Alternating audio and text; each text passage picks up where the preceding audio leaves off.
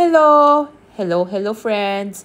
Andito po kami ngayon sa Doha Exhibition Convention Center para ipaprint yung aming digital Haya card.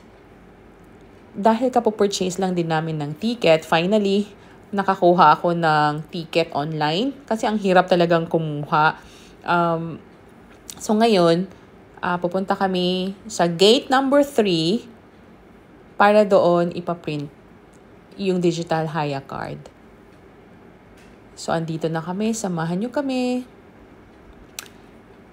Ang dali lang niya. Actually, nasa 10 to 15 minutes lang namin inantay. Uh, ang bilis lang. Medyo may, may, may mga maraming tao pero marami ding mga counters. So, hindi ka magtagal magantay sa loob.